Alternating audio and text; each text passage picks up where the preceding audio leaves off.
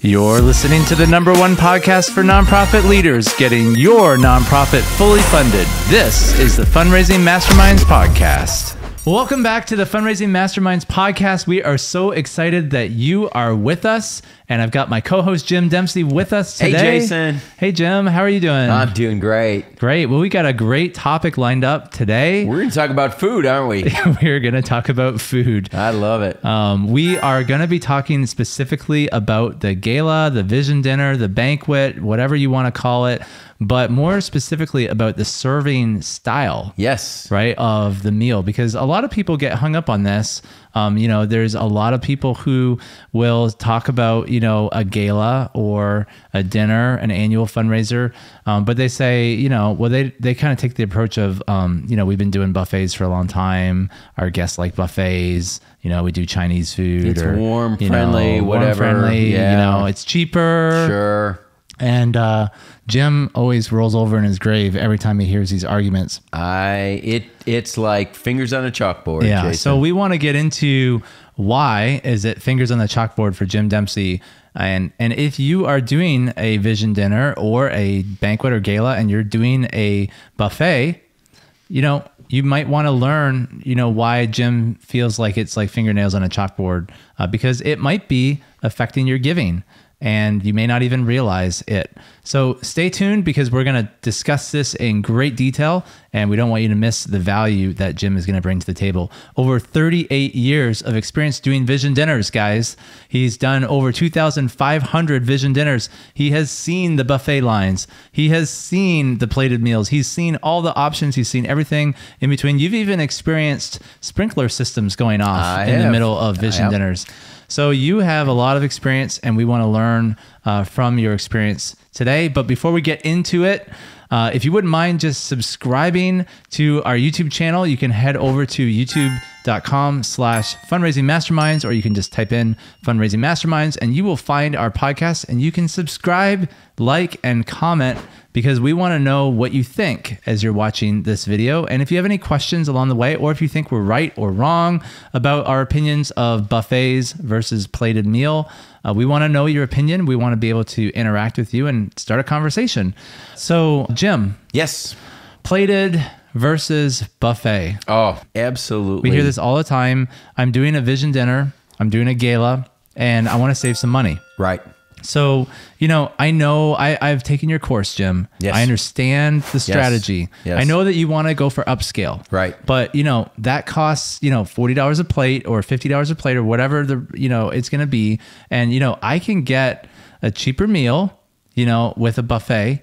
The plated Yes. method versus the buffet. Right. You know, what's the difference? And I thought it would be kind of fun to play a little game. Okay. Open AI versus Jim Dempsey. All right, let's Which one it. is the smarter person? Yeah, let's do it. Let's see what what OpenAI has to say about Nothing like an artificial intelligence going up against somebody who's had 2,500 meals. Well, the artificial intelligence knows everything that you said into YouTube. I guess that's so exactly we'll see right. if it if Let's it takes your advice. Yep. So we asked OpenAI. I'm thinking about doing a perfect vision dinner. Should I do a plated meal or buffet? Mm-hmm. This is what OpenAI had to say. Both plate, and I want I want your response here. Okay, right. so um, you know, give me your reactions. Okay. Both plated meals and buffets have their own advantages and considerations. Mm-hmm. Did you know that? Yes. the choice between them depends on several factors, such as the ambience you want to create, or the number of guests at the type of event you're having, or the personal preferences. Here are some points to consider about each one. Let's do the buffet 1st mm-hmm. So, Okay. here's the advantages of the buffet variety. Number one, mm. variety. Uh, buffet adds a whole range of food choices. Right. You can have the grocery store in the line Right. and have all your guests have choices. I mean, I like choices. Right. Can we have ice cream and pie and cake and Along with our pizza. pizza? I want pizza. I want macaroni. I want, you know, Sure. Is that is that Comfort good- food. Comfort food. No, it's saying um, that's my interpretation. It's saying the buffet adds a whole variety of food choices, allowing the guests to select their own preferences. This can be particularly useful if your guests have diverse tastes Okay. or dietary restrictions. Okay. 38 years of experience doing 2,500 dinners. True or false? Well, Uh, false. From my standpoint, I believe that actually a plated dinner gives you more consistency Mm-hmm. and allows you to deal with dietary restrictions much better because it's actually targeted to the particular meal. Right. The plate, you don't have to change everything on the buffet for that particular dietary restriction. you can target Right. the meal. Well, because a lot of times what we do is we'll put like a little dot on their name correct uh, placeholder, or, right or give on their name a tag. three by five note card that says here's their particular dietary need Right. yeah Uh, what are your response to the uh, to having more food choice? yeah i don't necessarily think that people appreciate more meal choices i think they actually like one upscale meal. Mm-hmm. So i that's why i tend to favor a nice steak with starch and vegetables and a nice dessert and a salad and it makes for a really really nice experience for people versus a buffet line that We'll get into the buffet experience. line and and what that means, but I, I wanted to so want to get into the it- it- buffet line. I know. It's like getting into a cattle call. right. um, so so the the open AI said Yes. four things. So Yes. the first one was variety. So we know that's not you know I think Jim wins that one. Uh, number two, interaction. This one's kind of interesting. Yes. So it's saying the benefit of a buffet is that your guests get to s- interact with each other in line while they are waiting to be served. Uh, interaction in a kettle line as you're being herded in your high heels, nice tight dress, and a suit and tie in a line while you're trying to make your way through holding a plate and a glass, a drink, a dessert all together, hoping that those things don't spill on your new dress or your suit is not a good experience. Right. And the interaction and I, I think we could save a little money if we use paper plates. Oh, and paper napkins and, And paper paper, spoon- yeah, exactly. and- you we you lose so much. You can have a much better interaction with your guests, much funner time. All just sitting at your table. Remember, Hmm. we utilize the table host method, Right, which right. is friends inviting friends. Right. So you are gathering people at a table of eight or 10, Right. and they are enjoying the experience, Right. not having to get up, not having to juggle It's a date eight night. items. It's a date night. It's you special don't with your friends. to go on a date with your wife or your significant other, your And girlfriend. have to juggle your food while you're walking through a line in your nice clothes. right. It's just not a good experience. No, it's not. you know, and that's why there's not a lot of restaurants Right, that have buffets. right, right, right. And when I talk about a memorable experience, I don't want it being memorable because I dropped a whole plate of macaroni and pizza on my new dress. That's a good point. All right, number three, it's saying the benefit of a buffet is flexibility. Mm-hmm. Buffets are generally more flexible in terms of accommodating large number of guests, as it reduces the need for individual plating and service staff. 100% false. Hmm. As somebody who has done hundreds of buffets in my lifetime, those buffet lines are incredibly slow. Hmm. Moving people through buffet lines, getting seconds, thirds, all in their first trip there, and going through a slow process. And then at the end of that, you've got a chef who is individually carving pieces of prime rib and pouring au jus over that mm-hmm. is not going to speed up your service. Right. And I can tell you that at an event where we are concerned about time, Right. where time for the program is much more important than time for the meal, you've got to be concerned Well, about that's that. that's a good point because I think maybe some people don't prioritize the program or they don't have a program. That's right. Or they just think, well, I'm just going to stand up and I'm going to talk about the ministry. Right. So they're thinking, you know, buffet is like, um, well, it doesn't matter if it takes an hour. It doesn't. Right. It doesn't Right. matter how long it takes because the dinner is the thing. It's cooking in a crock pot versus a right. microwave. Well, and it's Yeah. like, well, um, you know, that's what people are here for. They're here to eat. So let's just take lots of time, and then the program is just kind of like tacked on at the end. Right, right. You know, it's or- almost like the program is an afterthought. Right.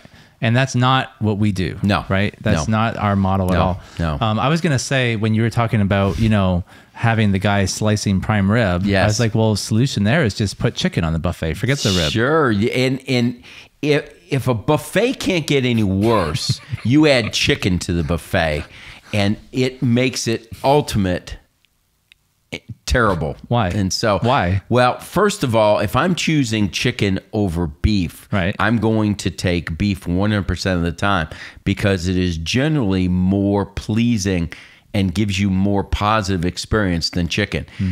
And the only thing worse than chicken in a plated entree is chicken on a buffet. Where you are taking the tongs and grabbing the different versions of whatever pieces, dark meat, white meat, whatever, Right. that you like better. Yeah. Not a good experience.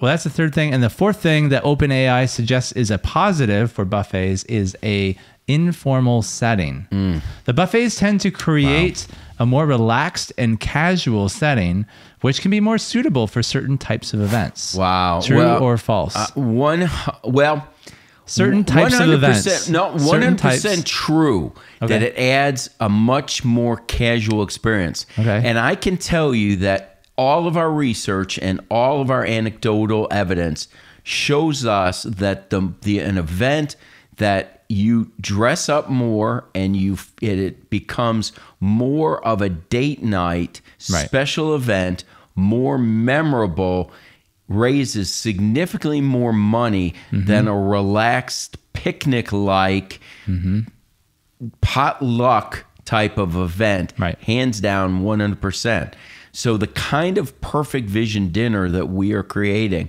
we want a more formal more upscale more memorable experience than a relaxed fun-loving happy-go-lucky that Right. doesn't mean that i don't want to have fun at our event Right. but i don't need it to be silly and i think that a buffet gives the silly experience All right. Well, that does it for me. Don't take your development fundraising advice from OpenAI. It is much better to bring Jim Dempsey in and learn from the 38 years of mastery of experience, right? Bring it to the guy who has eaten 2,500 meals. Trying to figure out how to, you know, maximize and give people the best experiences. Right. Exactly. Well, Jim, I wanted to just share an experience that I had recently Yeah. at a dinner. Uh, they actually called it a, a fundraising dinner. I, d- Okay. I don't think they used the term gala, but they did say fundraising dinner. I know or- the story. Gala would not have been the Right. the right term for sure. Yeah. So, um, you know, this, if I mentioned the name of this organization, it's a reputable organization. It's a national organization. There's hundreds of them in every state. Yep. And so when I was invited to attend this, I thought, you know, I, I'm thinking, you know, J- crew. I'm Sure. thinking FCA. I'm thinking, you know, Young Life. Right. I'm thinking, you know, these guys are on the same Yes, level. yes. And they've had some training, and you know, unfortunately, I was invited to attend the dinner at a church. That was my first red flag. I was Mm-hmm. Right. like, okay.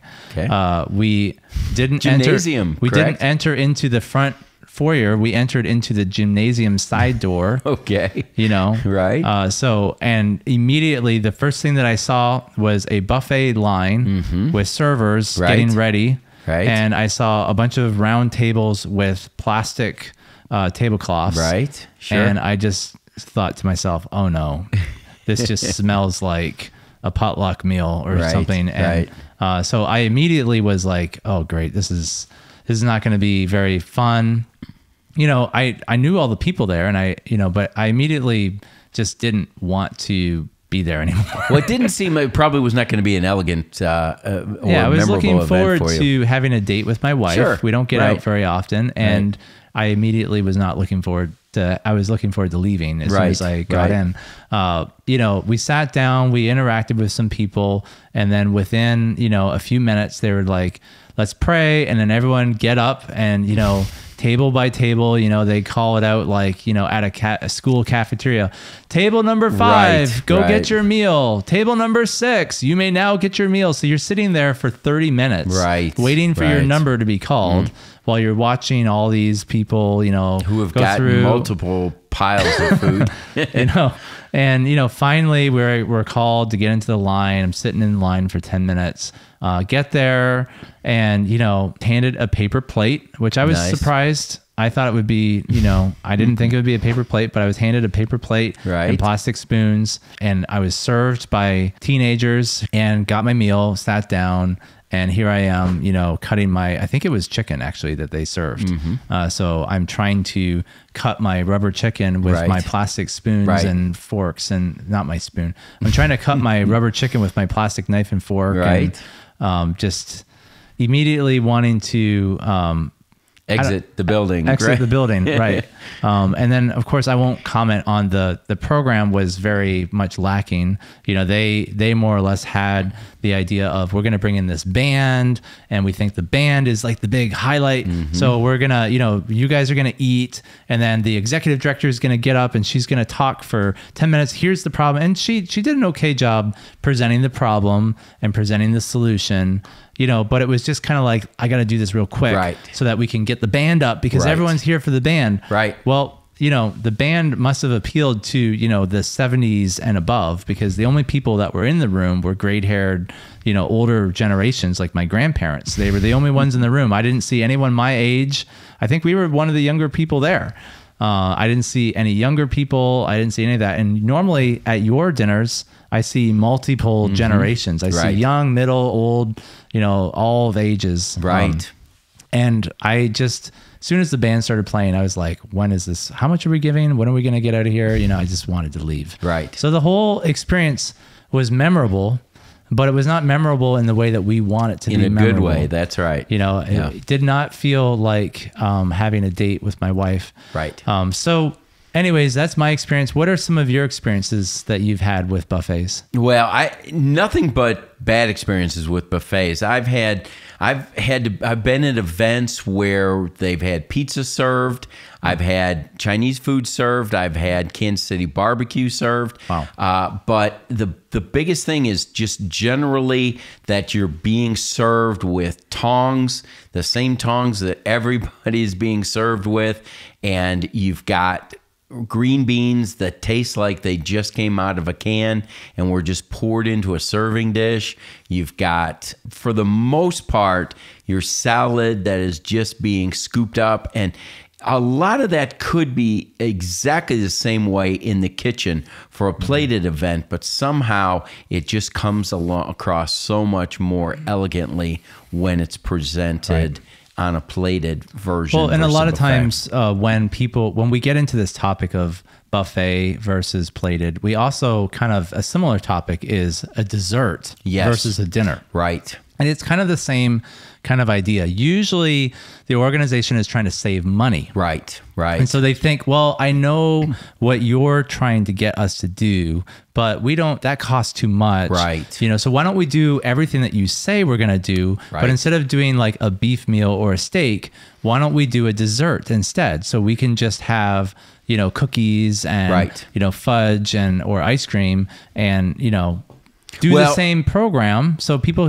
can still have the same information, Yeah. but it saves us $40 a plate. Well, and and what they're thinking is you get people in, you get them out faster because of it. Right. But it actually has the opposite effect, and I'm really glad. I, I know for a season desserts were really hot, Mm. and I'm glad to see that that season has begun to pass because I just I, I feel like all it did was just cater to a get people in, get people out, and really not in, make it an enjoyable, memorable experience for people. Right. And and we definitely see a much better experience when we serve a full meal. Plus, when we're talking about a dessert, we have found that at least with a dinner, people feel like they want to cover the cost of their meal. At a minimum, mm-hmm. desserts, it, everything is off the table. Right. They feel like the dessert is, is an add on and there's no at least obligation to cover the cost of the dessert Right. because how little can a dessert cost? I Right. mean, it, it's not that much. Right. So there just is not the same priority. There's not the same special feeling for a dessert as there is. Right. So when we're talking about the perfect vision dinner, and if you're hearing that term for the first time and you're hearing about what is this perfect vision dinner that you guys talk about, we actually created a course uh, called the Perfect Vision Dinner. And um, if you are doing a gala or a dessert or anything like that, and you're wondering, well, how does my dessert or gala or meal kind of compare to the model of the Perfect Vision Dinner? Uh, we actually created a survey for you that you can fill out. We'll put a QR code on the screen right now, and you can just get your phone out and scan that, and it will take you to a survey where we will ask you 14 simple questions. It only take you two minutes, and we will give you a score based on how your version of your gala or, or dinner compares or stacks up against the perfect vision dinner model. So, And- Jason, you can predict how well someone's dinner is going to. Yeah. We actually have a way of knowing uh, how well your dinner is going to perform Yeah. uh, over uh, the perfect vision dinner. And uh, the results might scare you or shock you. Uh, definitely surprise you. It definitely minimum, might right? surprise you because a lot of people get stuck in uh, thinking that, well, this is just the way we've been doing it and we've been doing it for 25 years Always done it that way. and Yeah. this is just what we do and nobody questions what we do Right. and uh, a lot of times you know you could be raising 30 40 50% more money by just making a few little tweaks Yes. uh, and that's what we teach in our course Yeah. so you uh, definitely uh, fill out the survey and we'll get an email out to you to help you learn more about the course and the program and all that stuff uh, but the main point that we're trying to make here is that the buffet cheapens the event Right, right. right we're we're not going for cheap No, right we want to no. give people an elegant experience we want people to feel like they're going on a date Right. they're having a right. special evening we want people to feel like they have to buy a special dress or a special Mm-hmm. Right. suit or get dressed up and nobody wants to get dressed up in high heels and be all excited to bundle up and get into a car and go to the church gymnasium where they eat off of a paper plate and plastic spoons Correct. and sit right. and stand through a line Yeah. to get their food Right. it's just not very appealing No. and even if you you know didn't even tell people that that's what they were going to do as soon as they walked in the door like my experience i was like oh great it's one of these Right. types of Right. things and i immediately was like how much do we want to write a check and let's get out Right. let's go to Right. a real restaurant Yeah. Yeah. where we're going to sit down and have a date Right. you know? Exactly. Yeah. but the the experiences that we give people for the perfect vision dinner is um it's a it's a memorable experience because you know we're treating them uh, very upscale Right. And it's done with excellence. And and we we know the value of their time. Right. But we try and give them the best experience with the program and everything we do. The meal is important, but it's not why they're there. Right. They're there because of the program and what they're going to hear and the value of the organization. Well, and that's one of the points that I wanted to make too is that uh, we're talking about there. There's actually a proven statistic that uh, a thousand dollars a minute is about the cost of your donor's time, That's right. right? And so for every minute that goes into your program, we don't want to go past uh, two hours and fifteen minutes. That's right. And we have a very structured program with the perfect vision dinner model. So we want to get people fed as fast as possible. We want to give them the best experience. We Yep. want to give them the the most customized experience, right? Right. And then we focus on the actual program. Yes. You know, Right. so the dinner is just yeah, 45 minute slot, right? Is that what Right. it is or is Yeah, it 30? 45 minutes. We have a Mhm. 45 Yep. minute slot for the dinner and then the rest of the time is spent on the program. Right. And we have a very specific way to do the program, which Mm-hmm. we're not going to get into in this podcast episode. Um, but if you're interested in that, you can check us out at fundraisingmasterminds.net and you can learn about the Perfect Vision Dinner course there. But it doesn't save time No. to do a buffet. No, it In doesn't. fact, it actually increases time. Right. And that's not what we're going Time for. Time is valuable with our brands. So, Jim, as we are concluding, I wrote down here are five reasons why a plated meal creates a more memorable experience for your guests. Yes. You know what they are? Number one, attention to detail. Yes. Talk about that. Yeah. Well, we're talking about creating an experience that people enjoy. When you have got a like minded event where everyone is is unified in what they're doing providing one set meal for people will save you money. Mm-hmm. You'll give people the ability to be able to deal with any individual dietary concerns Right. but you are providing for them one single experience mm-hmm. and it ha- it has to be a good experience. And with our meals and our program it's a good experience and mm-hmm. that really helps with that. Right. Number two, customization and personalization. Yeah. When you're talking about a plated meal, mm-hmm. you can customize that meal before you arrive. You can pick and choose what entree you want. You can pick and choose what Yep. starch, what vegetables, what salad. If you want Caesar, house salad, you can pick whether you want a cheesecake. And with that cheesecake, you can choose something like strawberry. And you can control the there. portion sizes. You can control the portion sizes absolutely Mm-hmm. so we have found over the years that a lot of hotels are serving 10 to 12 ounce pieces of meat well i'll tell you for a woman 10 to 12 ounces is way too much Mm-hmm. for a man you could bring in a side of beef and it's not going to be enough, but they Mm-hmm. will fill up on the bread. So you control the portion sizes, make it best for everyone in the room, and you can actually economize and save yourself money Right. by not overdoing portion size. Yeah, in our course, we have a whole lesson on how to negotiate Right. uh, the meal costs, and we actually can have we and we actually have methods where we can actually save you up to five thousand dollars in some cases, even ten thousand dollars on how to negotiate with the hotel and how to uh, get the the right customized Mm-hmm. Yeah. uh, combination. And cut and meal portion are Right. big elements of that. Yeah. Um, so that's, uh, I mean, that just pays for the course, Yes. uh, oh, you know, 10 times over right Yep. there. Um, number, let's see, we did number one and two.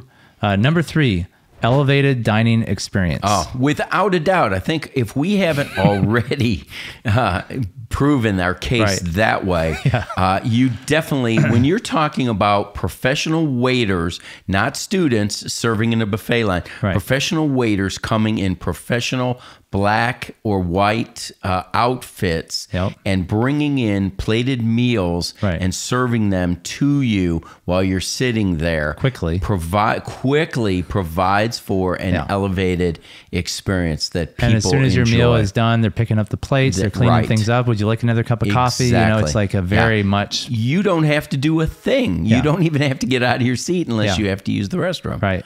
Yep. Um, okay. So elevated dining experience. Number four, enhanced atmosphere. Oh, well, without a doubt, a plated meal provides an atmosphere of elegance, as it said. It's an experience of upscale dining Right. versus, like we said, going through A call. that. Uh, yes, going through that line. Yep. It is a much more elegant experience for Yeah. people. I like this one. Number five, uh, a plated meal facilitates connection and engagement. Uh, without a doubt. And in fact, I think I mentioned it earlier uh, when AI said that you have a nice experience talking in the line while you're juggling eight items with only two hands. It is not a, a not a nice conversational time. Well, to its benefit, I mean, AI has never eaten, so they've never had the personal experience of having to juggle food. Right. That I guess we have to give it that benefit Give it doubt. that benefit. I'll give it the benefit of the doubt on that one. But, however, from the standpoint of making sure that you are enjoying the experience at your table, Right. the conversation, you are talking about the things you want to talk about, whether it's your Sunday school class, whether it be what's going on in the neighborhood, what is in the office, Yeah. you can enjoy your conversational experience around the table Yeah. with your friends. Well, I hope that this has been helpful. And if you are doing a dinner, an annual dinner, or an annual dessert, or an annual gala, or an annual buffet, I hope that we didn't, you know, step on your toes too much. Hopefully, you found uh, this information helpful. Uh, because again, this isn't about you know right or wrong. You know, this isn't you know we're right, you're wrong. Uh, this is just simply we've tried all the buffets, we've been through it ourselves, and we have learned that when you treat people well and you give them a great experience and you give them a very organized, structured, to the point program that explains uh, the problem that the ministry exists for and what you're going to do specifically to solve that problem and you give them the opportunity to participate in solving that problem, you know, through a very structured program, people respond well. They're going to return the favor with a nice gift. A nice gift, and it will be more than the cost of your meal, Right. Most likely. Much more. Um, and that is what we've seen uh, in 38 years in doing this. Yeah. Um, that uh, it's uh, it's far outweighs the buffet experience. Yes. Well, like I said, if you are interested in learning more about the Perfect Vision Dinner model that Jim and I teach, uh, we actually do um, coaching calls. Uh, through our course, uh, we offer a course two times a year. We do one in the spring and one in the fall. Uh, we only open it up to about 50 organizations at a time, so the space is limited, and we only have enrollment open for about a month. So if you head over to fundraisingmasterminds.net and you see that enrollment is open, you better jump on that because the space is going to be gone before you know it, and that is going to be closed down. So definitely do that. A lot of times when I'm talking to people on the phone, they'll say, Well, you know, I don't know if we'll do this or not. And I, I always say, I don't think you can afford not to do this Right. because there's an opportunity cost right when you think about like Yeah. the cost of our course and you think about like well you know i'm going to have to make a small investment to be able to learn this Right. uh, but what is it going to cost you to not learn it Right.